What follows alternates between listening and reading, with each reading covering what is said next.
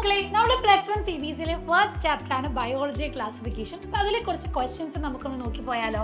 First question എന്ന് പറയുന്നത് name the scientist who use scientific basis of classification for the first time എന്നാണ് Bentham Hooker and Aristotle Whittaker Linnaeus ആണ് അല്ലേ? അപ്പൊ ഇതിൽ ആരാണ് എന്നുള്ളത് നിങ്ങൾ വേണം കമന്റ് ബോക്സിൽ കമന്റ് ചെയ്യാൻ. അടുത്ത ക്വസ്റ്റ്യനിലേക്ക് നമുക്ക് പോകാം.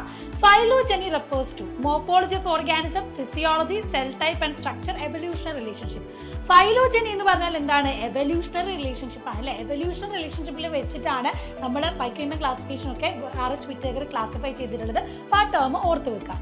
Which of the following statement is correct about bacteria ബാക്ടീരിയനെ വെച്ച് നോക്കുമ്പോൾ ഇതിൽ ഏതാണ് കറക്റ്റ് എന്നാണ് നമുക്കറിയാം. ബാക്ടീരിയ വളരെ സിമ്പിൾ ഇൻ സ്ട്രക്ചർ ആണ് അല്ലേ? സ്ട്രക്ചറിൽ അവർ വളരെ സിമ്പിൾ ആണ്.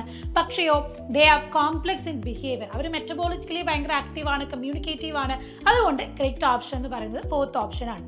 ഇനി assertion and reason type question നോക്കാം. അസേഷൻ തന്നിട്ടുണ്ട് bacteria are prokaryotic and reason തന്നത് എന്താണ്? Bacteria do not possess true nucleus and membrane bound central organelle correct ആണ് അല്ലേ? എന്തുകൊണ്ടാണ് പ്രൊക്കാരിയോട്ട് എന്ന് പറയാനുള്ള കാരണം? അവർക്ക് ഡെഫിനറ്റ് ഒരു ട്രൂ ന്യൂക്ലിയസ് ഇല്ല. അതുപോലെ തന്നെ മെംബ്രെയിൻ ബൗണ്ട് സെൽ ഓർഗൻസും നമുക്ക് ബാക്ടീരിയൽ കാണാൻ പറ്റില്ല. So both assertion and reason and true and reason is the correct explanation എന്ന് നമുക്ക് പറയാം.